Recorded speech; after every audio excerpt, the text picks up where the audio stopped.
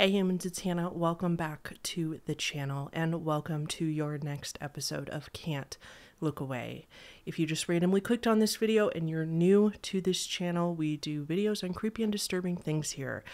Hi and welcome. If this is the first Can't Look Away episode you've watched, this is a series on my channel where instead of just one topic for the whole video, we actually go through five different stories and I try really hard to find not only interesting, disturbing stories, but ones that you likely have not heard of before. We have some really crazy stories to go into today. As the disclaimer says at the beginning, these topics are disturbing. There will be nothing graphic. Everything will align with YouTube's guidelines. However, it may be disturbing to some viewers, so as always, viewer discretion is advised. Before we get into it today, this video is supported by a sponsor. So we're going to roll to that and I'll be right back with you. I am so excited to talk to you guys about today's sponsor, which is Nutrafol. Listen, thinning hair is different for everyone, and a one size fits all approach to it is just not going to work. That's why Nutrafol is the best way to go. Nutrafol has 5 different formulas that are tailored to your hair's needs so you can achieve visibly thicker, stronger, faster growing hair in as little as three to six months. They have a three minute hair wellness quiz on their website so you can find out right now what formula is right for you. Nutrafol is the number one dermatologist recommended hair growth supplement with over 1 million people seeing thicker, stronger, faster growing hair and less shedding. It's also just a really easy thing to add to your routine. I got the women's vegan capsules, and all you do is take four capsules every day with a meal for better hair. I've been taking them for the past few weeks, and I've already noticed a little bit of progress in my shedding. Anyone else like able to build a wig out of the hair that they find in the shower? And I already feel like taking Nutrafol for the past few weeks has like slowed down the shedding a little bit. So I'm super encouraged and I'm definitely going to keep taking them because I am so excited to see my results in a couple months from now. Nutrafol's hair growth supplements are physician formulated and they only use drug-free high quality ingredients. That means you can just purchase them online. There's no prescription or doctor's visit required. Start your hair growth journey today by taking Nutrafol's hair wellness quiz and get your personalized hair health plan today. For a limited time, Nutrafol is offering my viewers $10 off your first month subscription and free shipping at Nutrafol.com slash quiz when you enter the promo code The Horrible. Take the quiz and get started on reaching your hair wellness goals with Nutrafol today. That's Nutrafol.com, spelled N-U-T-R-A-F-O-L dot com slash quiz with the promo code The Horrible. That's Nutrafol.com slash quiz promo code the horrible.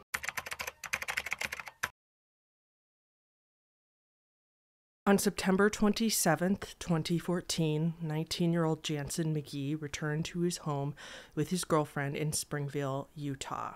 Immediately, something felt off. Really off. He entered his house and it was quiet. Too quiet the type of quiet that you never want to experience yourself because it's the type of quiet that is deafening.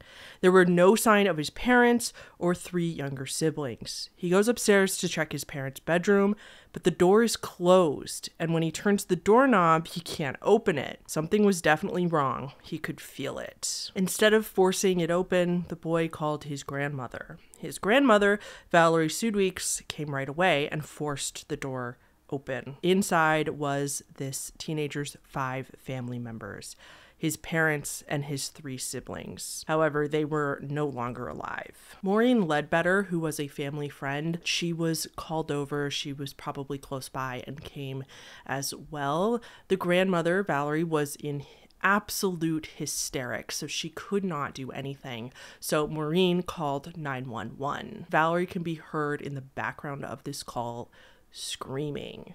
Maureen tells the dispatcher the whole family has killed themselves. The family killed themselves. The address. And the scene was grisly, for lack of a better word. Benson Strack, who was 14 years old, along with his younger sister Emery, who was 12 years old, were both laying next to each other on a mattress near their parents' bed. 11 year old Zion, the third sibling and the youngest, was cuddled up with his parents on their bed. He was under the blankets with his mother, but his father, who was also in the bed with them, was over the blankets. The father, Benjamin Strack, is thought to have passed away last because he was not under the blankets. Christy was the mother who was holding her son Zion in the bed. When authorities came to process the scene, the biggest thing they found was drugs. A lot of drugs. I'm going to actually read this quote directly from a Washington Post article because I don't want to mess it up. They found empty containers of cold and flu medication, allergy medication, sleeping medication, pain reliever, and cherry flavored liquid methadone. And they found a plastic sand pail filled with a lethal yellowish orange concoction, a mixture of the drugs. Now, before we go on, just a quick note I know people are going to ask if you know, you know. Methadone is a drug that is often used to treat heroin addiction. So that is the reason why methadone was in the home. It was in the home legally. It was prescribed to Christy, who had suffered from heroin addiction in the past, as well as Benjamin, her husband. At the autopsies, doctors found that all three children had lethal doses of a concoction of these drugs in their systems. Christy had these drugs in her system as well. However, she also had dextrorphan, which is a cough suppressant, as well as doxylamine, which is a sleep aid. Benjamin, the father, seemed to have just OD'd on heroin. Both Benjamin and Christy, the parents, their cause of death was listed as suicide. But 11 year old Zion and 12 year old Emery, their cause of death was both listed as murder. It was determined that they were too young to consent to this suicide pact, so it seemed, and so it was determined that their parents actually murdered them. Interestingly enough, though, is that it was not the same for 14 year old Benson. His cause of death was and has been always listed as undetermined.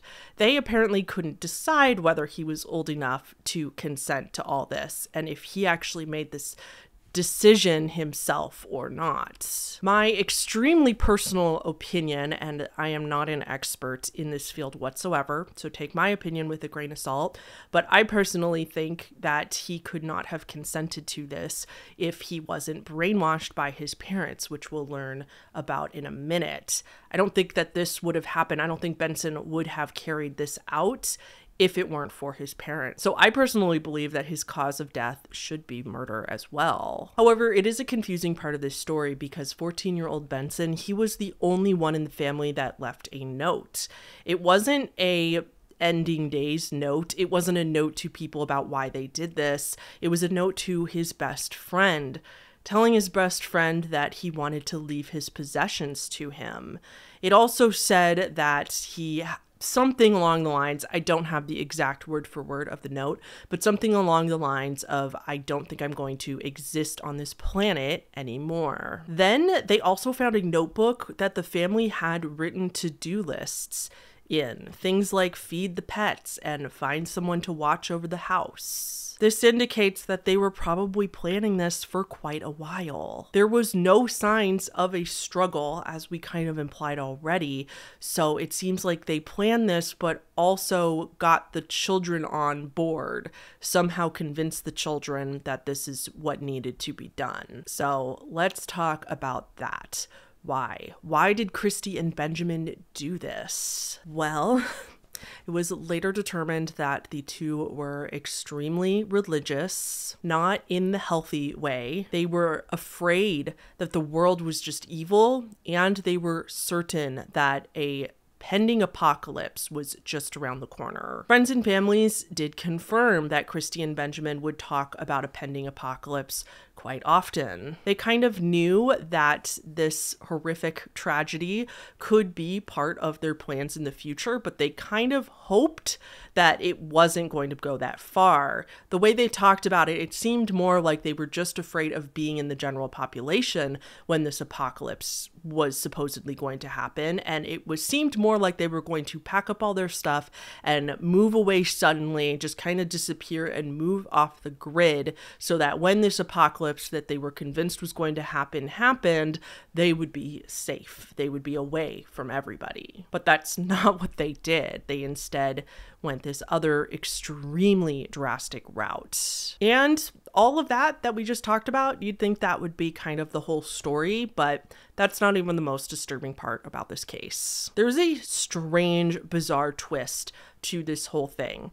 Benjamin and Christy were actually close friends with Dan Lafferty. If you have no idea what I'm talking about, I will give you a refresh. Dan Lafferty and his brother, Ron Lafferty, murdered their sister in law, Brenda Wright Lafferty, and Brenda's 15 month old daughter, Erica, on July 24, 1984. In order to carry out this murder, Ron and Dan slit their throats.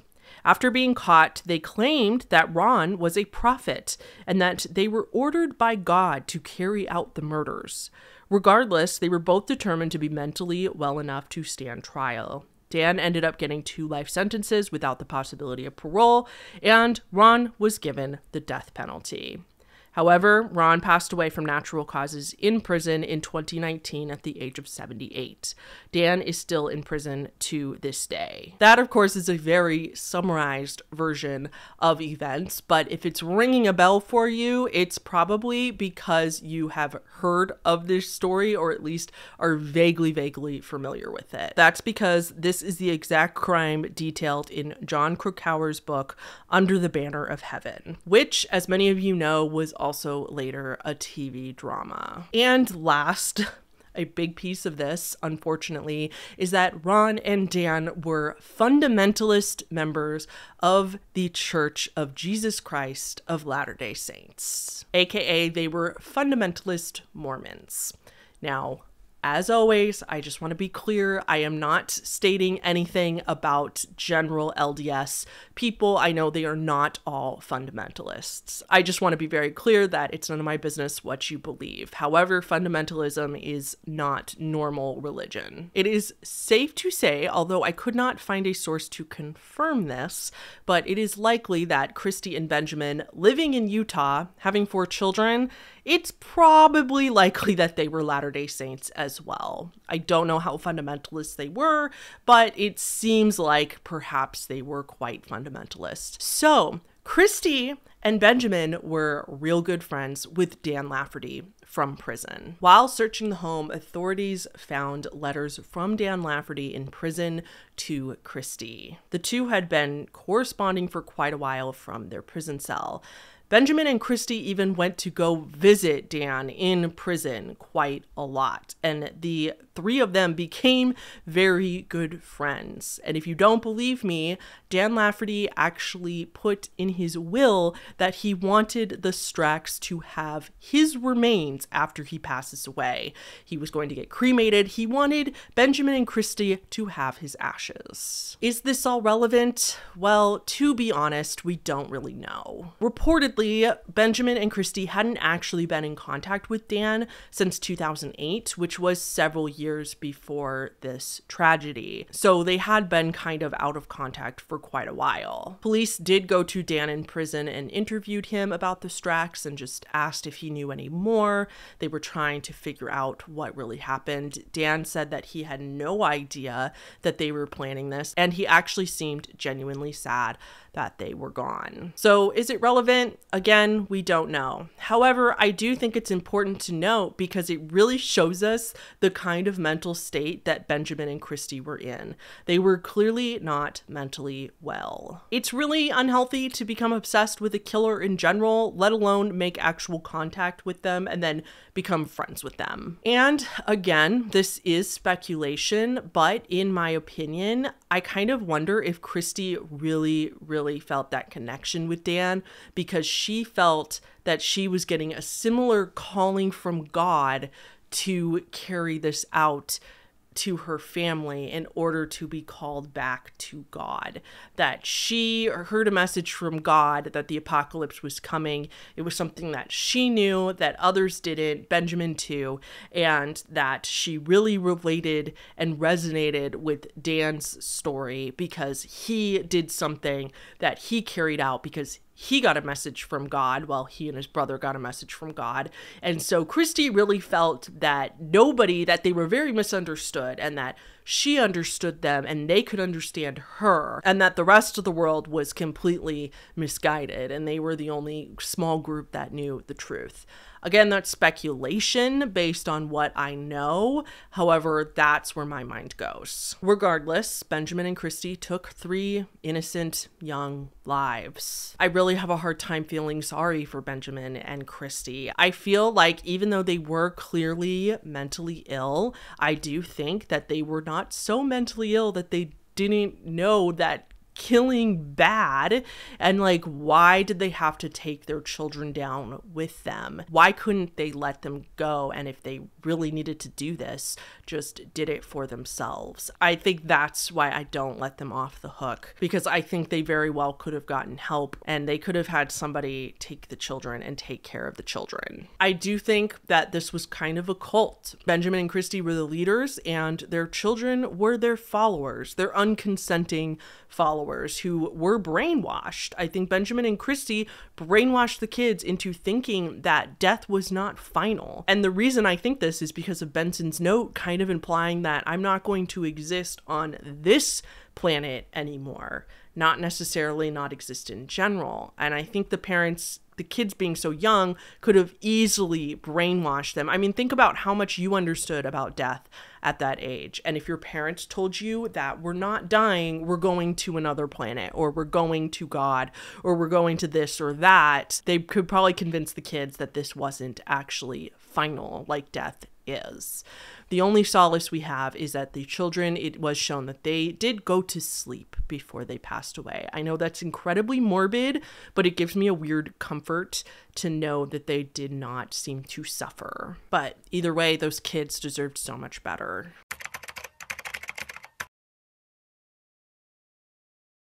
Okay, this next story is one of those that you're really not going to know where it's going at first, so stick with me for a moment. On October 9th, 2001, Bulgarian phone company Mobiltel's CEO Vladimir Grashnov tragically died after battling cancer. He was only 48 years old.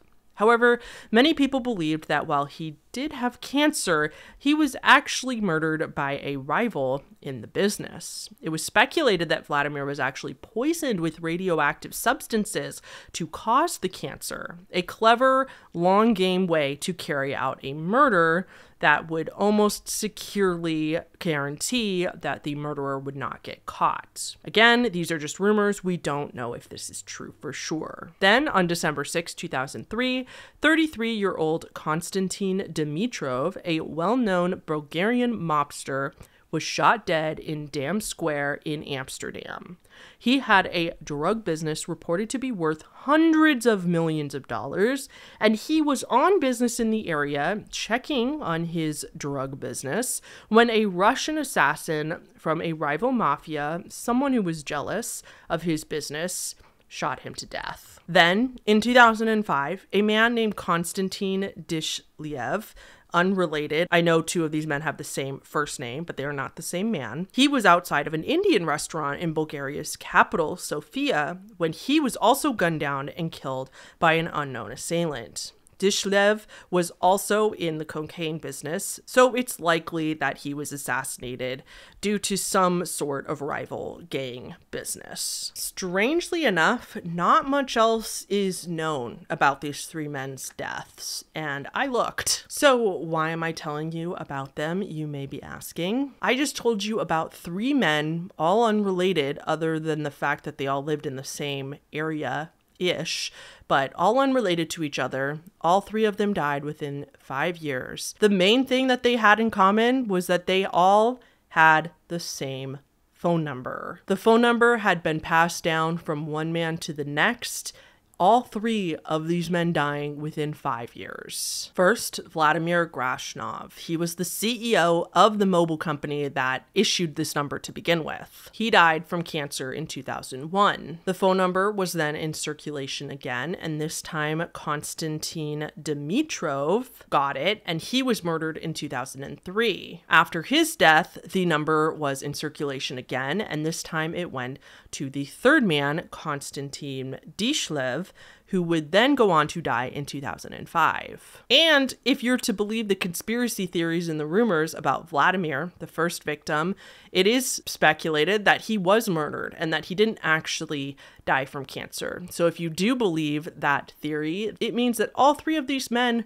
were also murdered not long after getting this phone number. Even more spooky, the phone number was 0888 888 888. It's not some random number, it's only the number made up of eights. So you may be thinking, is this just a coincidence? Well, of course, that is completely possible. And my first thought when doing research on this story was how many other people have had this phone number who haven't died? Is it just because we nitpicked these three that happened to have this number and they passed away? But the answer is none.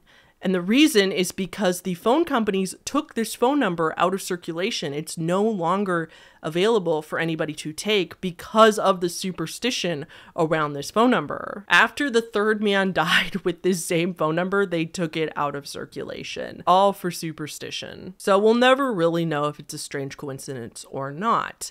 Again, you're probably thinking, I'm sure it's just a coincidence. That is wild, but it must just be some really crazy happenstance. And for those of you who are saying it's just a coincidence, I I have to ask, would you take this phone number? Honestly, would you take this phone number? Would you risk it? If you think it's just a coincidence, but you still wouldn't take it just on the tiny minuscule chance, then that means congratulations, my friend. You do believe this just a tiny bit. Oh.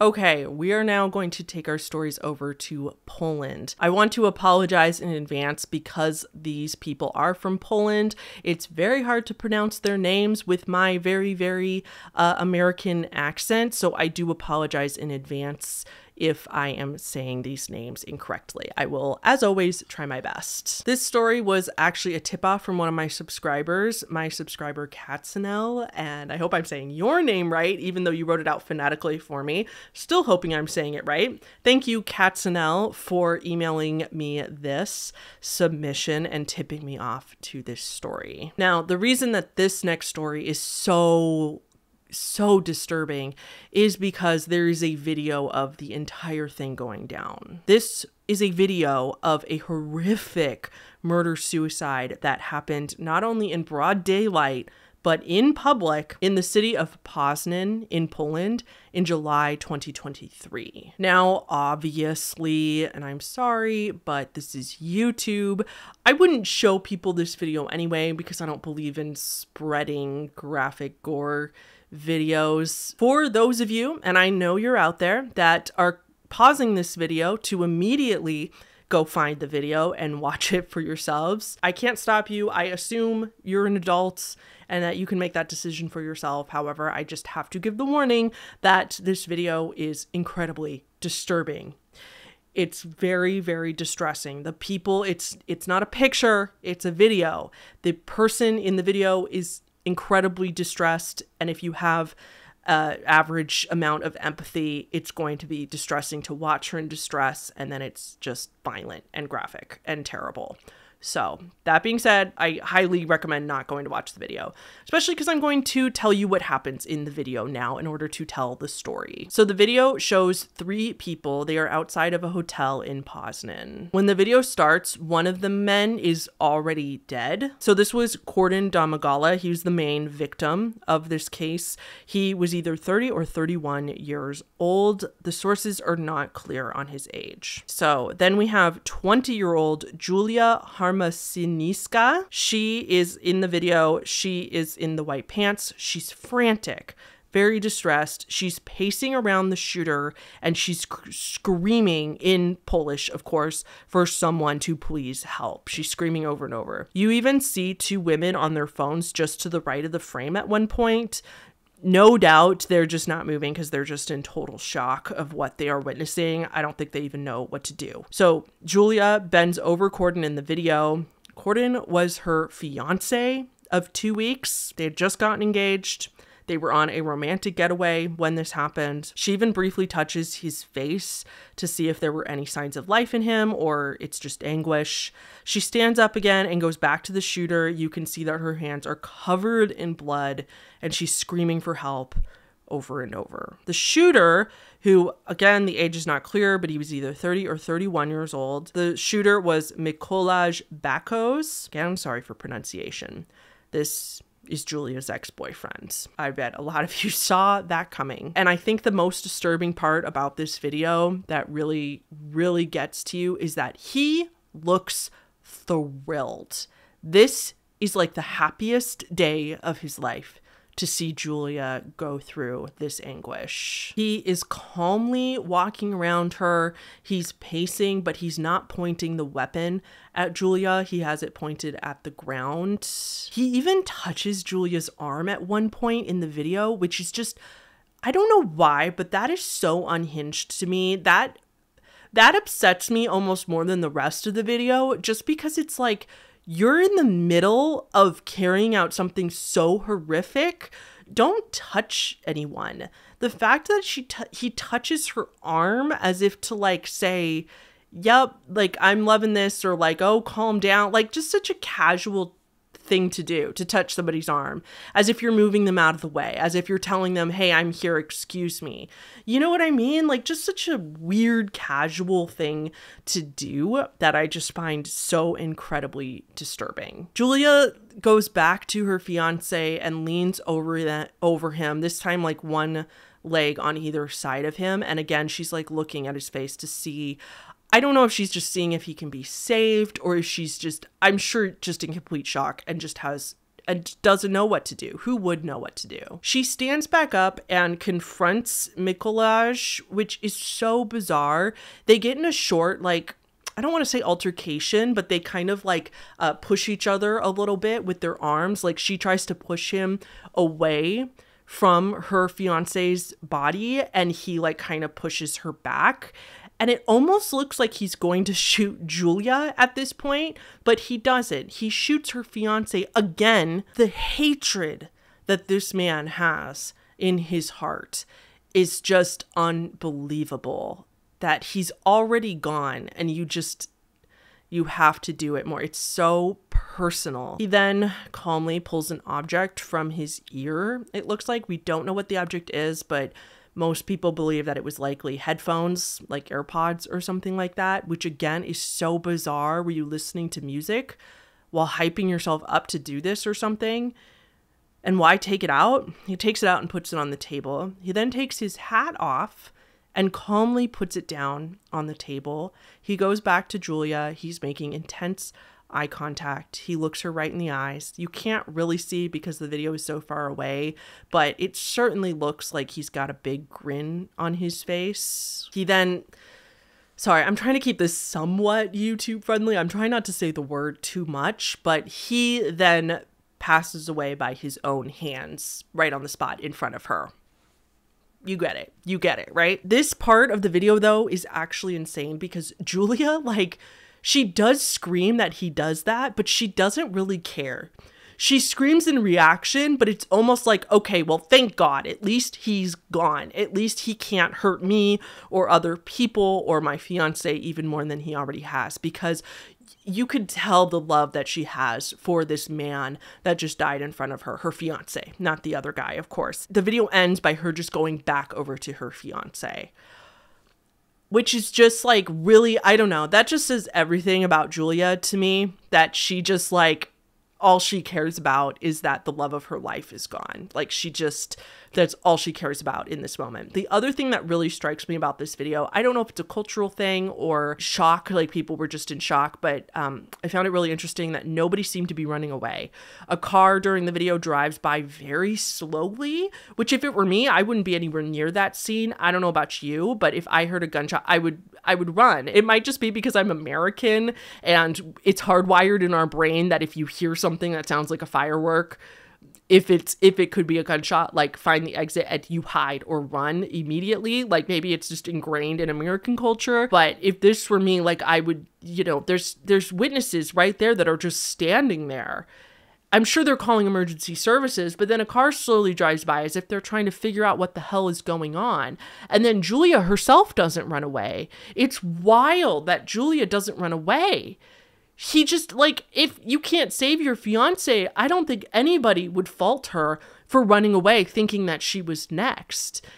Again, I don't know if it was just utter shock, so much love and compassion for, for her fiance that she just could not leave his side no matter what. Like, I don't know if that's what it was, or she didn't care if he got her too because her life was over anyway it's just so interesting. I love the human nature. I love observing human nature like this because she like goes and confronts hit the shooter and like even like shoves him a little bit to like tell him to get the fuck out of here.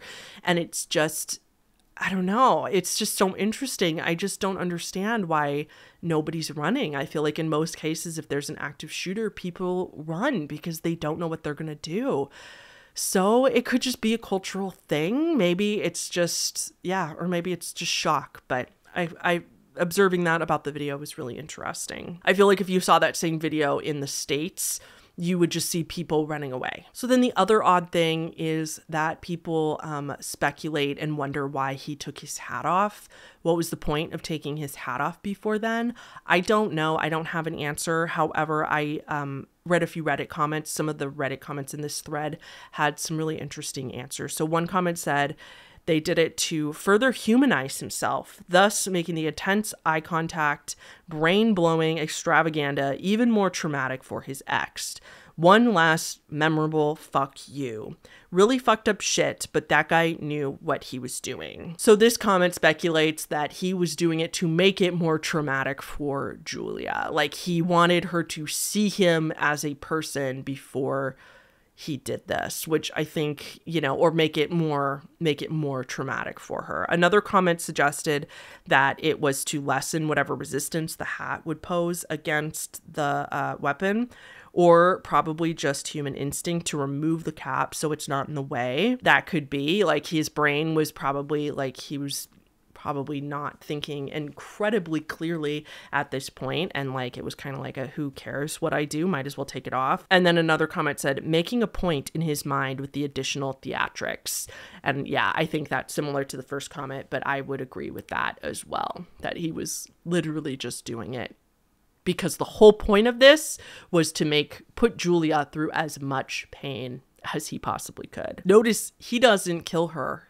He spares her life because he wants her to live with this instead. So, like you've probably figured out by now on your own, Mikolaj has never been over their breakup. Julia and Mikolaj used to date. He was mad that he was no longer with Julia, that she had broken up with him, and he handled it in the most cowardly, horrific way anybody could. He had apparently recently saw pictures of Julia and her new fiance on social media, which seemed to trigger this whole thing for him. This was obviously just so ridiculously senseless. So the victim, Kordian. So Kordian was said to be one of the most positive and happiest people you ever met.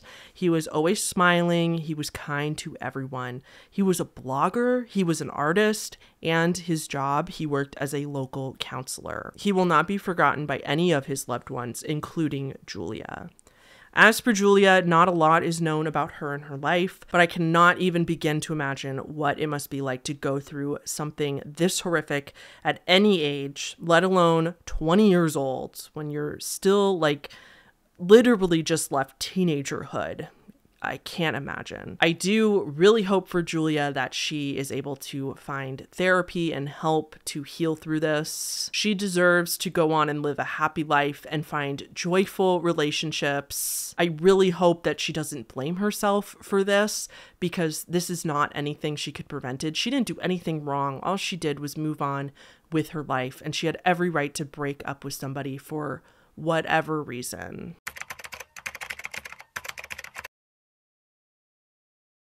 Let's move on to central eastern Pennsylvania. This is a deep mystery from Reddit. Since as early as 2019, people in Pennsylvania have been finding strange notes in random items that they take home from grocery stores. The notes always look something like this, and there are small differences between the notes, but for the most part, they say the same thing.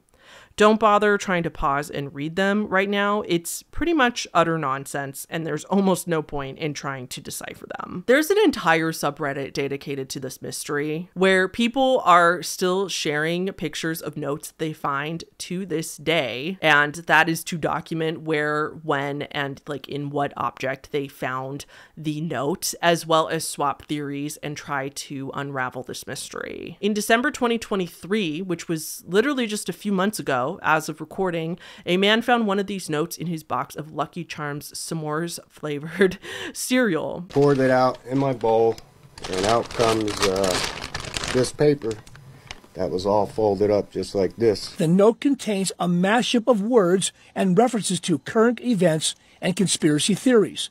Miller says his big concern is that somehow a note made its way into a sealed food product. I don't know what's inside the cereal or this note was laced with anything. It's not the note that really bothers me. It's just what was.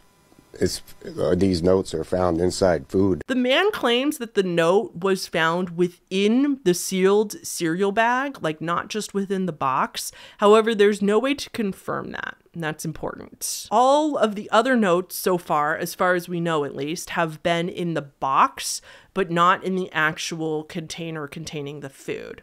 So, for example, cake mix, like you would find the note in between the box, the cardboard, and the actual plastic bag where the powdered mix is in. The note would be in between there, not actually in the sealed bag. So, the first thing that most people say when they hear about this is, well, it must be the manufacturers. It must be somebody in the factory sneaking these in on the factory line. However, if you think about it, this doesn't make a lot of sense because there's no consistency to where these notes are found.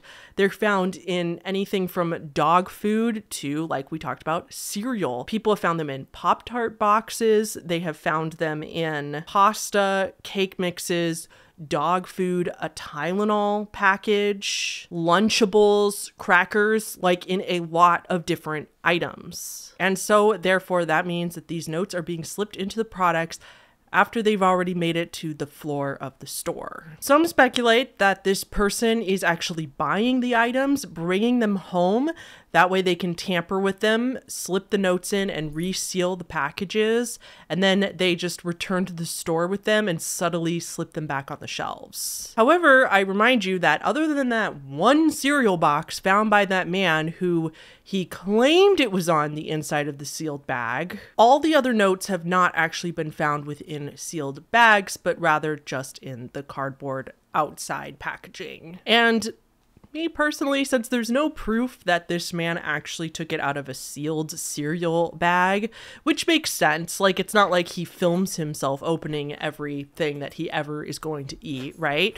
But I personally think that it's quite possible that the note was in between the bag and the box, and he opened the bag inside of the box without seeing the note. He tipped the box with the cereal inside of it over to pour it in the bowl and then the note fell out like slipped out from between the plastic and the cardboard box. And so to the man's perspective it looked as if it came out of the bag when it really didn't. So assuming that it didn't actually go in the sealed cereal bag all the notes that we know of have not been actually in sealed plastic bags of food So, therefore, it is possible that somebody is just going into the stores, picking random food items or home items, and then folding up the note and using their key or something flat and small to shove the note in between the cracks of the box all you'd have to do is squeeze the box to look for a seam that would open and you could slip it in there. People on Reddit have tried to do this themselves and have been able to do it with relative ease. And it's also not just food. People on Reddit are saying that they find these notes in the pockets of clothes that they buy from retail stores. They find them pinned to trees on walking trails, on the floor, just at random stores. They'll see it on the floor in the aisles. Whoever's doing this is taking it very seriously. And if this person ever gets caught, they could be responsible for some criminal charges. I mean, this is tampering with food. So, if this case is not new to you and you have happened to hear about it before, you have probably watched Scare Theater's video on it. I'll link his video in the description because it's very, very well done. He does a lot more detailed analysis and a lot more uh, detailed investigation. One of the things that Scare Theater does in his video is puts the notes text into Chat GPT and then he asks ChatGPT to translate, to explain what the note says. That's why I told you there was no point in pausing the screen to try to read what the note says, because honestly, it's not that exciting. It's not like there's some hidden puzzle or secret message hidden within these notes. It's the theme of all the notes seems to be a lot of talk about secret societies, conspiracies, lots of Trump kind of QAnon stuff. This entire mystery has been named the Schuylkill Notes, named after the area in Pennsylvania where most, the vast majority of these notes have been found. Several people on Reddit have confirmed that the notes seem a lot like the thought patterns of either themselves or a loved one that they have witnessed go through some sort of psychotic or schizophrenic episode. So the weird grammar, the weird shortening of words, the weird punctuation, and just the ramblings themselves. And of course, I don't think anybody would think it's much of a stretch to assume that whoever is doing this is suffering from some sort of mental illness. I'm not here to diagnose, of course, but it's gotta be something going on. Something is happening. Something you are suffering from something to believe this stuff not only so deeply, but to believe that you are the one that needs to spread the message to the world by doing these things. And the mystery continues. Like when you go to the subreddit, I mean, there's posts from as recently as a few hours ago to a day ago. Like there's people that are still finding these notes everywhere. And just imagine how many people are finding these notes and just like tossing them. Not that they don't know about this entire mystery, they don't know about Reddit, they don't know about subreddits, so they just like see it and they're like, "Oh, that's weird." And then they toss it away. You know what I mean? So like it's probably even more than what the Reddit is portraying it to be. Lastly, it's also important to note that of course there probably are copycats. Scare Theater goes more into this in his video. I'm sure there are people out there that have replicated the notes and done this exact same thing just to keep the mystery going. In any sort of popular mystery, there's always copycats. Scare Theater goes more into this in his video about how there likely are copycats, but he does have reason to believe that they are definitely not all copycats. Again, I will link his video down below in the description so you can go over there and watch his video after you finish this one. Overall, very, very strange. While technically this is a crime, tampering with food that you don't own, it is clear that whoever's doing this doesn't actually want to hurt anybody because nobody, as far as we know, who have found one of these notes has ever gotten sick or suffered any ill effects. Like I said, I think this has to be somebody suffering from mental illness and their mental illness is telling them that they need to spread this message around to the world and that putting it in random containers of food is the only way to do it. And that is about all we know right now. Like I said, this is still going on and continues to go on. I would love for this to be solved one day. I wonder if somebody is ever going to get caught on CCTV or just a random person catch them put something in the food and report it and then i wonder if this person ever gets caught they might get a little bit of jail time for this if they are convicted but you know, since they're not hurting anybody, it probably wouldn't be that much. I would hope they'd get caught just so that they could get the mental health help that they need because clearly there is something going on here.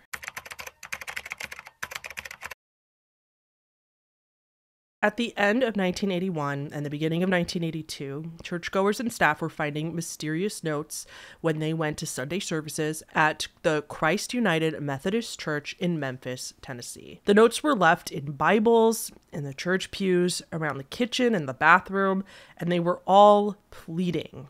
One note said, quote, Please help me. My name is Leslie Gaddis. Call the police immediately. Call my father, George A. Gaddis. He is vice president of Fred G. Gaddis Company. I am in attic with the man who kidnapped me. Show this note to the police. They have been looking for me for a long time.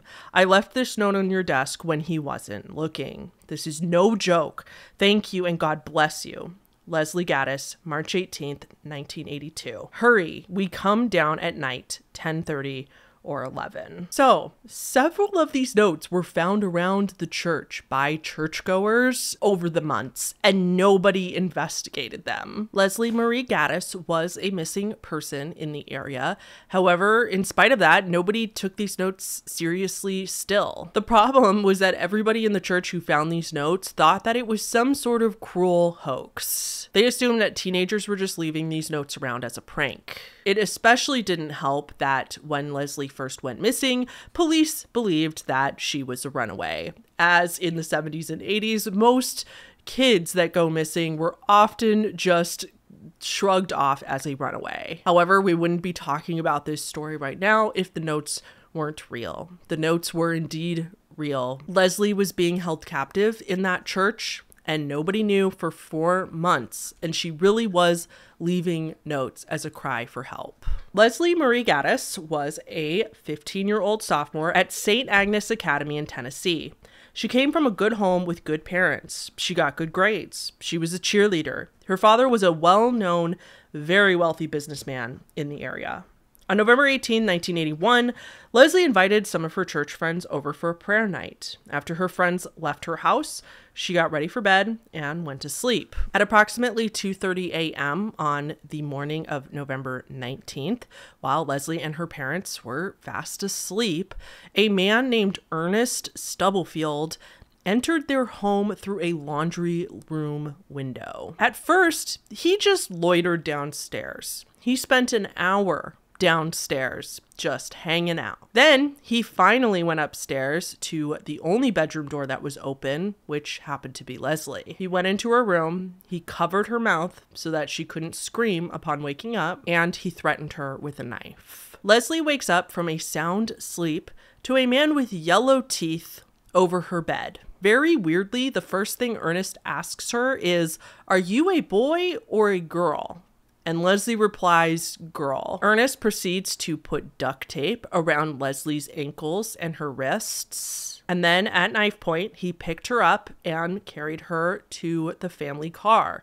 Not to his car, to the Gaddis's car. As he carried Leslie down the stairs, he needed to take a couple breathers. He needed to take a couple breaks.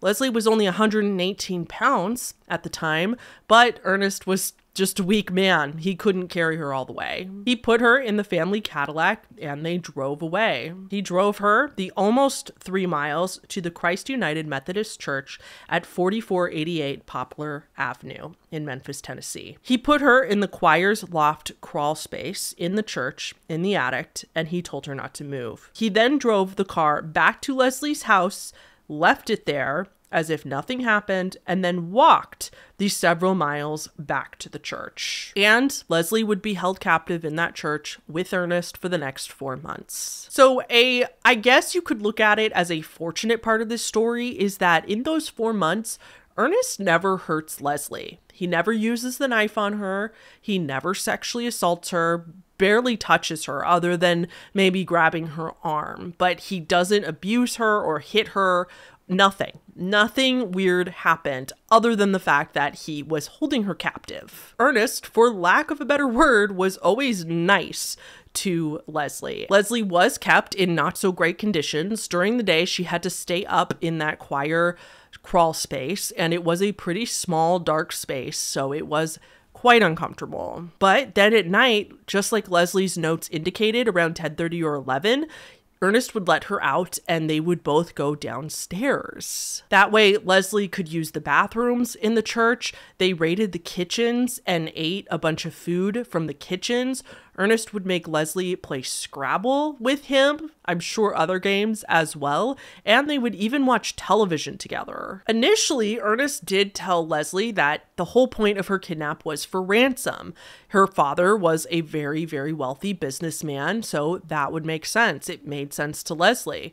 So Leslie started writing letters to her family for Ernest to deliver, telling her family that she's okay, but that this man wants money. She gave them to Ernest, and he said that he delivered them to the family, and she would check the papers every day. But she assumed that the reason the ransom uh, demands were not in the paper, but Leslie just assumed the police didn't want to disclose the information to keep the case secure. What Ernest didn't tell her is that that he just never delivered the letters. He said it was for ransom, but for whatever reason, Ernest never asked anyone for a ransom or any type of monetary gain for the kidnapping of Leslie. So, when they went downstairs at night, when Ernest wasn't looking or when he was out of the room, Leslie would write these notes up really quick and leave them in inconspicuous places around the church, hoping that people would find them and report that she was there somewhere. And then during the day, police would rescue her. That wasn't all she did, though. When they went to go eat food out of the kitchen, Leslie would stuff her face with food. She would eat as much food. She said she ate so much food that she felt sick. And she ate so much food not because she was so hungry from being held captive all day, although I can't imagine she wasn't hungry, but she ate as much food as she possibly could because she wanted it to be obvious that food was missing from the kitchen.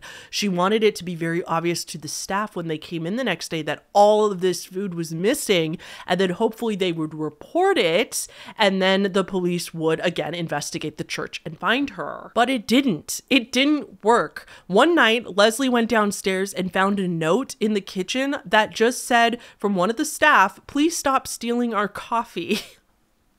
so I cannot imagine the frustration and the hopelessness she must have felt when it's literally like you're shouting from the rooftops, I'm here.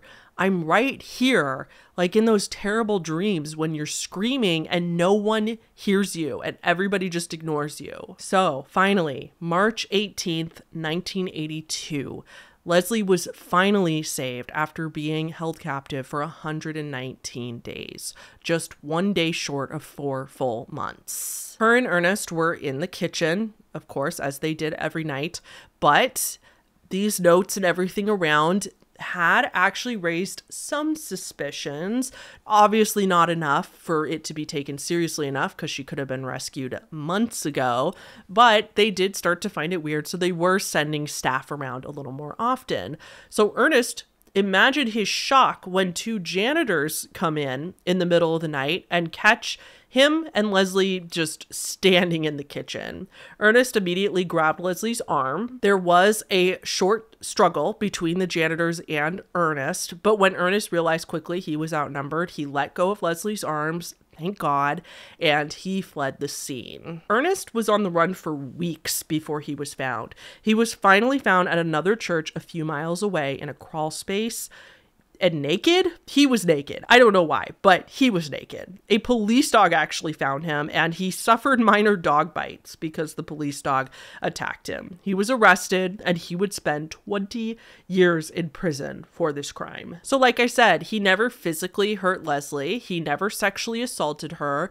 He never got a ransom or asked for a ransom for doing this. So, what the fuck did he want? Well, of course, we will never really know for sure. However, it's thought that he became quite attached to Leslie and he did actually really enjoy her as a person and enjoyed her company. And he knew asking for a ransom, Leslie would be saved, and then that would end their what in his mind was a friendship. Another theory that is similar is that Leslie kind of was a replacement for Ernest's own daughter named Patty. Ernest had been divorced from his wife, and according to his ex wife, he really, really did not agree with the divorce. He did not want to get divorced and he saw it as kind of like abandonment.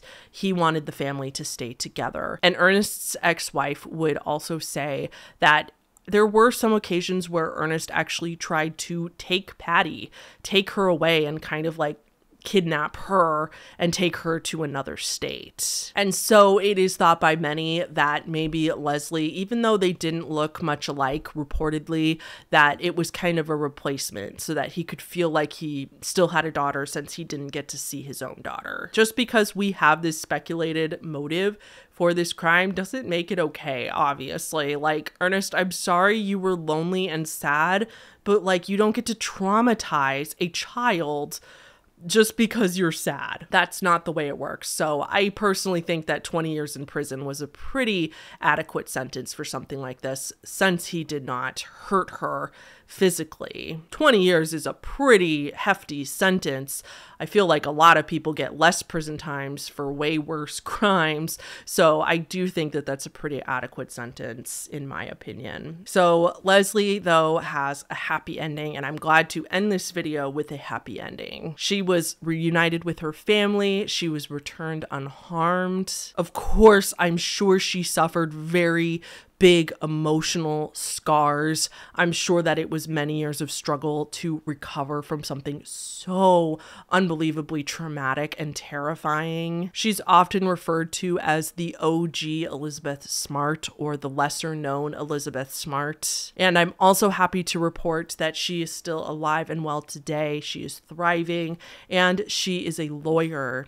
She wanted to be a doctor when she was a kid before this happened, but then after this happened, she decided decided she wanted to get into law and help others, and she became specifically a family attorney. So that is Leslie Marie Gaddis. So that's going to be it for our stories today. I hope you enjoyed this video. I I know I always say that, but obviously I don't mean like enjoyed like these stories are happy because they're not and they involve real people and really terrible things that happen to them. So, thank you guys so much for watching anyway. And uh, please like the video just to support the channel. Don't forget our sponsor, Nutrafol, and I'll see you all in the next video. Thank you so much to all of our patrons on the screen. Shout out to our newest alien top tiers, M. Kurtz and Mostly Good Vibes.